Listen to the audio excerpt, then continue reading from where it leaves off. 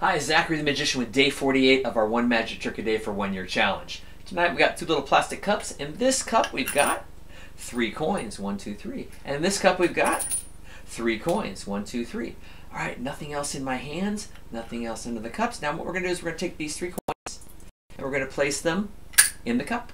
Take these three coins, we're gonna place them in the cup. Now, we're gonna take the invisible coin, just the invisible coin right here, the invisible coin, we're gonna drop it in that cup. So now this cup has four coins. One, two, three, four.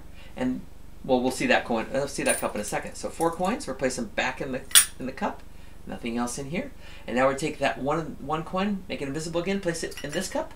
So now we had we have uh, from this cup, we because we took one coin out, we now have three coins. And over here, because we added one, we have one, two, three, four. One, two, three, four coins. All right, let's try it one more time. Let's put four coins in there. Let's put three coins in there. All right, let's take the invisible coin and place it back on the table. Uh, so once again, we now have three coins in this cup and three coins in that cup. Back to three and three and the invisible coin. See you tomorrow.